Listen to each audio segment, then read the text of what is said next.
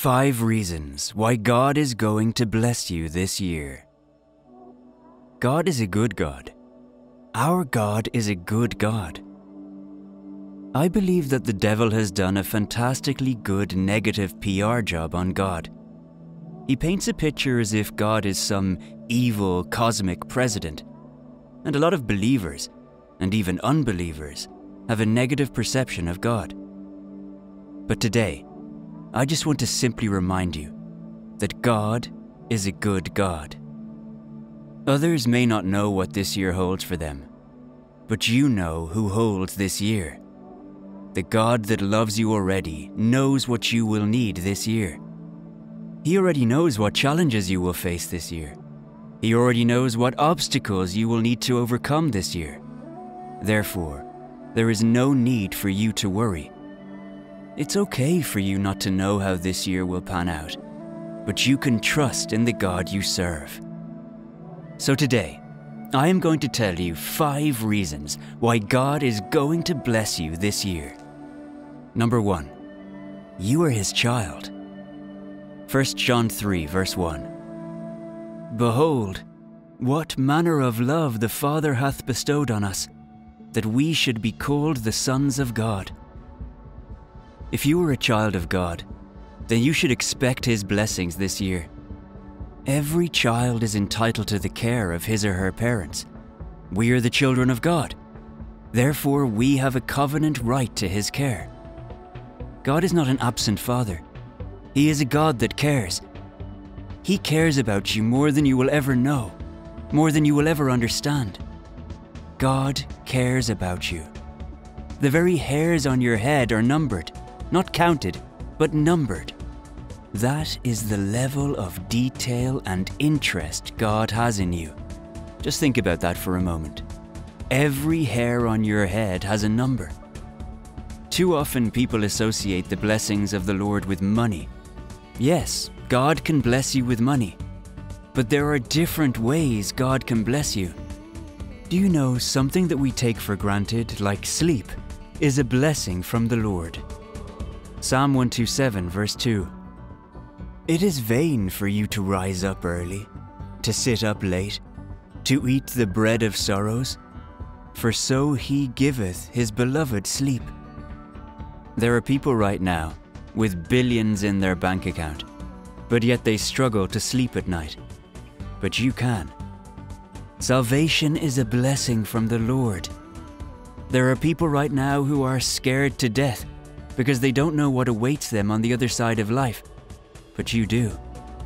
You have an assurance that your Lord and Savior Jesus Christ is preparing a place for you. Your heart is not troubled like unbelievers. Unbelievers have no hope outside of this life. All the joy and happiness they will experience will end with this life. But you know that because of salvation, the closest thing to hell you will ever experience is the struggles of this life.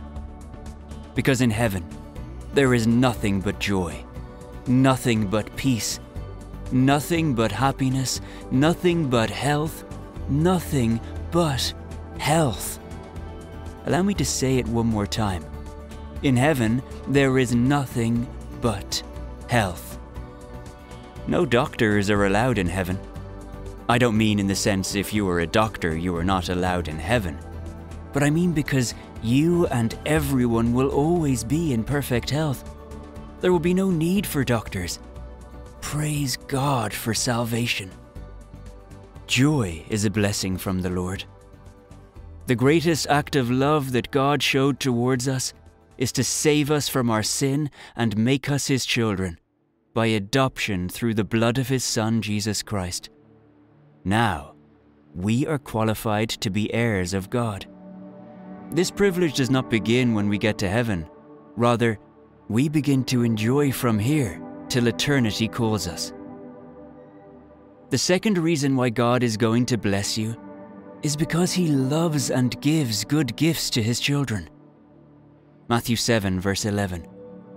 If ye then, being evil, know how to give good gifts unto your children, how much more shall your Father, which is in heaven, give good things to them that ask Him. More than you have ever known, this is a year to acknowledge and walk in the love of God. God loves you. He loves you so much.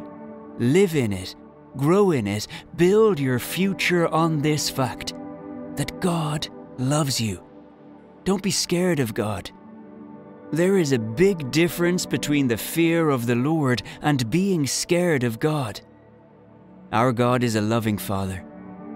If you have ever had a good relationship with your Father, you know the love of a father for his children. I know my relationship with my dad has always been a great one, but I know that not everyone has had the privilege of having a loving father. But if you have had a really good father, you know that if there is one person that will never turn the back on you, it is your dad. I mean, I know the whole world can hate me, but one person who will go to the ends of the earths for me is my dad. And my father's love for me cannot compare to the love God has for me.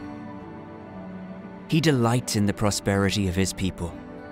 Jesus said that if earthly parents, as evil as they are, know how to gift good gifts to their children, much more will God do for us. Love is not just an attribute of God, God is love. Meanwhile, love gives more than it takes. If God could offer His only begotten Son for us, then it is a light thing for Him to equally bless you this year. God will bless you this year. Reason number three is He knows you. 2 Timothy 2, verse 19. Nevertheless, the foundation of God standeth sure, having this seal The Lord knoweth them that are his, and let everyone that nameth the name of Christ depart from iniquity. God knows you. He recognizes you amidst great multitudes. He knows your name. He knows your past. He knows your secrets. The secrets no one else knows about you, He knows. He knows your family. He knows your children. He knows your concerns. He knows your desires, your aspirations, your dreams. He knows your heart breaks and pains. He knows your strengths and weaknesses. He knows how much you love Him and how much you are committed to His work. God knows those that truly believe in Him.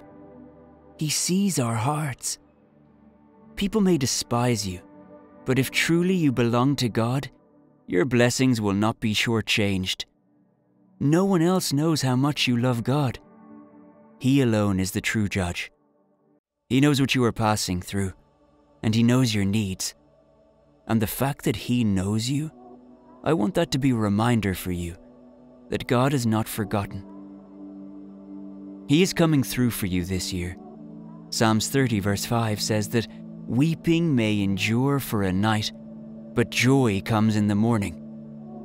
God is coming in a big way for you this year. God is going to reward your labor of love and your diligence in serving Him. If you want to be blessed this year, you have to depart from iniquity because God sees you in the secret. The fourth reason is our God is good. I think because we attempt to avoid the prosperity doctrine so much, we act as if God only gives negative things. But I want to remind you that God opens doors. God gives great and wonderful gifts. The Lord gives, and the Lord takes away. Blessed be the name of the Lord.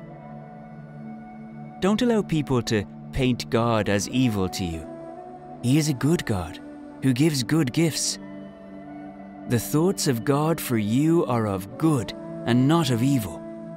God does not think of evil concerning his people. You don't need to worry about whether God will bless you or not. It is his will that all his children should be blessed and enjoy peace. The problem is that people try and equate God's blessings to money.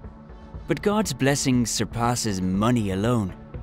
He is good, and his mercy endures forever. In Psalms 23, verse 6, David affirmed that God's goodness and mercy will follow him all the days of his life. 2022 is part of the days of your life, and you are going to experience the goodness and blessings of God in it. All the plans of God for you are good. It is only sin that causes humanity to suffer. As you walk with God in righteousness this year, you are going to experience another year of His goodness.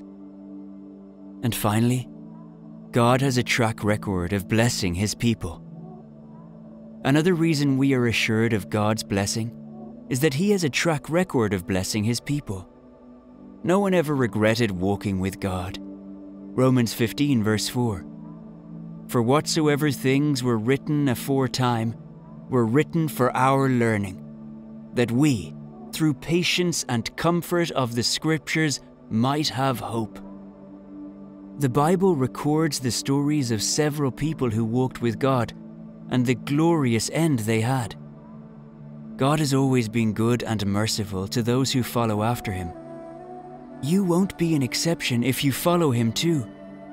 You can be part of the people who have the track record of God's goodness and faithfulness this year. If God blessed others, He will bless you too. The faithfulness of God over the years guarantees that we can trust Him over this year. The God who blessed Abraham is the same God today. God wasn't more powerful yesterday than He is today. His resources cannot be exhausted. Look at your own life. God has blessed you in the past. There is no reason why He can't bless you this year.